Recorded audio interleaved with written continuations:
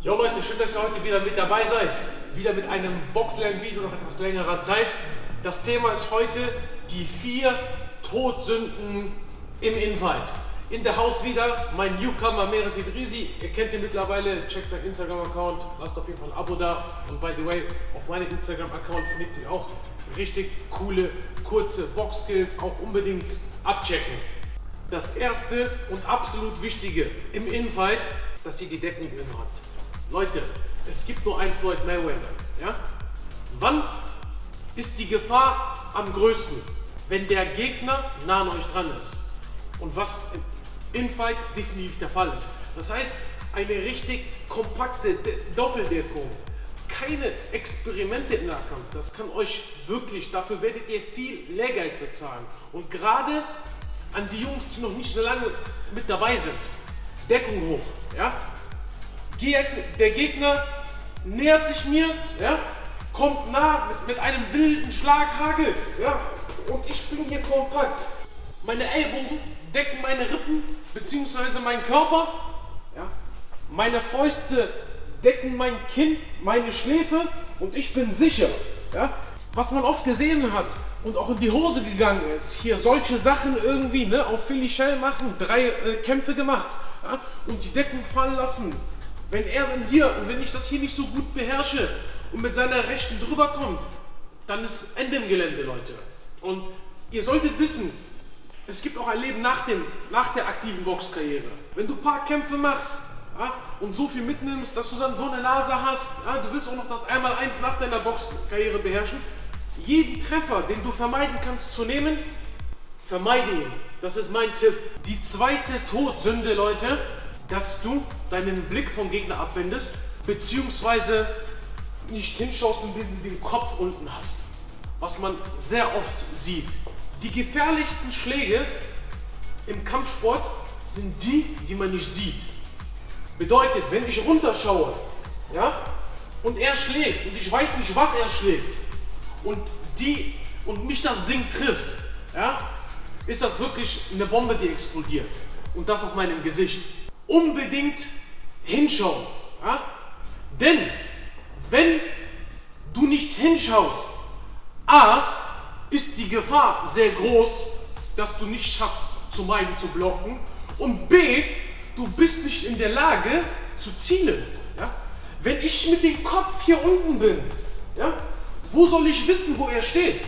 Vielleicht bewegt er sich hier rüber und ich hau hier Luftlöcher und fall noch vielleicht durch Seil hier, wenn ich das in der Ecke mache. Also Leute, Blick nach vorne. Ja, wenn du über die Straße gehst, ja, wohin schaust du? Schaust du runter? Ja, sei dir sicher, du wirst ganz schnell vom Auto erfasst, du wirst ganz schnell überfahren. Ja? Aufmerksamkeit, Blick ist Richtung Gegner, Kopf ist oben.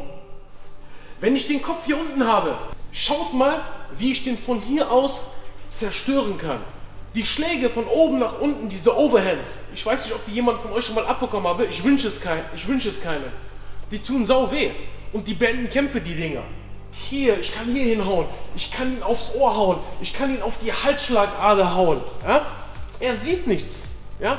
Leute, Blick nach vorne, ganz, ganz wichtig die dritte Todsünde im Infight, ja, dass viele so fokussiert auf den Angriff sind und dabei vergessen, sich selber zu decken. Das heißt, wenn die eine Hand im Infight schlägt, musst du mit der anderen Hand decken. Weil wenn der Gegner sich wehrt und mitschlägt, ich demonstriere euch, ja? Ihr seht hier, meine Hand ist oben, seine geht runter. Er ist völlig verloren in seiner Welt, mich zu treffen. Ja? Emotionen, Wut greift mich an, will mich mit aller Kraft treffen bzw. ausnocken.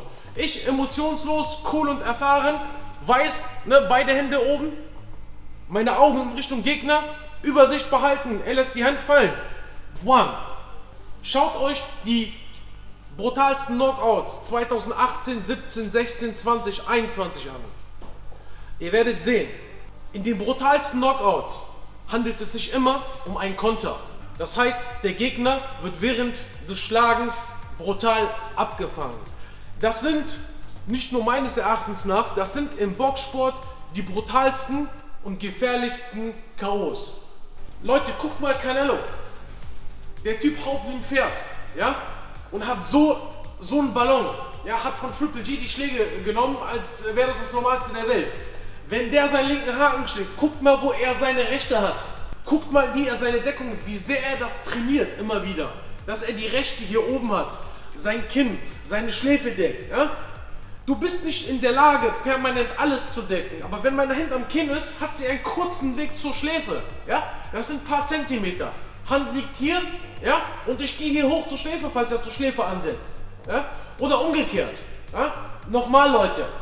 Er schlägt, ja, lässt dabei die Deckung fallen. Ja? Egal, ob, egal, was ich schlage am Ende des Tages, ich kann mir aussuchen, ja? situativ.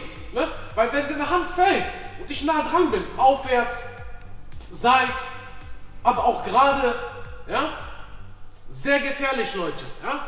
Wenn das die Top-Leute, wenn die darauf achten und gerade im Infight, wo diese wuchtigen Schläge in den Haken, wisst ihr selber, das ist kein Geheimnis, da ist unheimlich viel Wucht drin. Wenn so ein Ding sitzt, kann der Kampf schneller vorbei sein, als dir lieb ist. Keep your hands up. Die vierte und letzte Todsünde, das Verharren auf einer Stelle in Doppeldeckung. Du kannst mit der kompakten Schläge 1, 2, 3 auffangen. Aber zum Beispiel Chris Eubank Jr., ich weiß nicht, ob der euch was sagt, wenn seine Gegner in der Doppeldeckung stehen bleiben und der schlägt echt einen perversen Aufwärtshaken, ne, ballert er drauf los, ne, äh, als gäbe es kein Morgen mehr. Bedeutet, ja, wenn ich in Doppeldeckung ein, zwei, drei Hände, gerade wenn ich mit dem Rücken zum Seil bin, abfange, ja, dass ich was unternehme. Ne, bleib nicht wie ein Tannenbaum stehen, ja, dann wirst du abgesägt.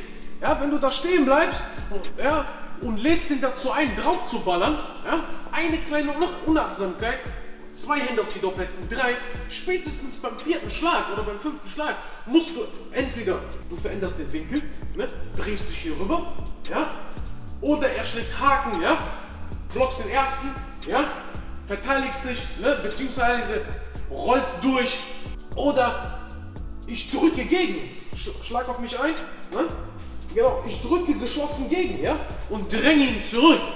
Aber lass dich nicht in Doppeldeckung vergewaltigen, im wahrsten Sinne des Wortes. Ja? Sieh zu, dass du dich besser positionierst und merke dir, Angriff ist die beste Verteidigung.